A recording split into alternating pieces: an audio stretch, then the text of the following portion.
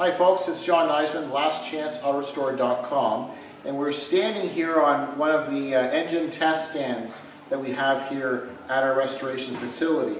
We made this engine test stand, so after we build an engine um, and everything comes back together or is reassembled, what the guys like to do is set it up on this portable station, hook everything up, um, add the break-in oil, start the engine, run it, and that's when we cure the paint. Uh, we check for any leaks or any vacuum leaks. We, we tune and set the carbs on them to get them fairly close, and then all the fine tuning is done inside the vehicle. So we find here at Last Chance it saves a lot of time and grief later on because what this does is eliminates the fear of doing the work on the engine, thinking everything is correct. You go through all the work of putting it into the vehicle, hooking everything up, you start it, you find there's an oil leak or there's a vacuum leak or there's a concern, what we really are afraid of doing is having to pull the whole drive line back out of the vehicle, make the repairs, and then put it back in again. So everything is done in-house with the exception of the machining.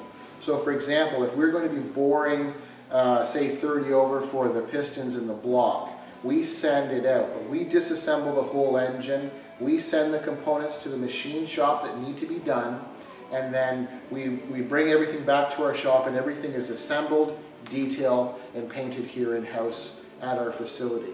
So basically what I wanted to do, normally this engine's already been broken in. This is a, a small block Chev. It has roughly double the horsepower of what it did originally. So Nate, roughly, what was the horsepower on a 74 small block Corvette? 160. So roughly 160 horsepower. And doing pistons, cam, and so on, what are we at now ballpark?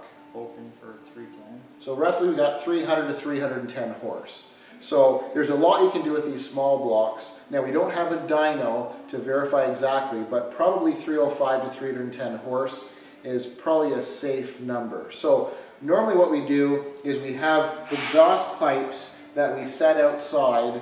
When we start it up, it's still fairly loud, but the fumes and so on go out. But for the purpose of the video, we'll just, um, we'll start the engine up and uh, just show you what it's like um, starting an engine on a test stand. So as I mentioned earlier, it's already broken in. Uh, we have gauges here, we've got the main key, we have attack, oil pressure, and temperature. So we have gauges, and we are all set up here. So Nate's just going to fire this engine up and you can see what it, uh, what it looks and sounds like.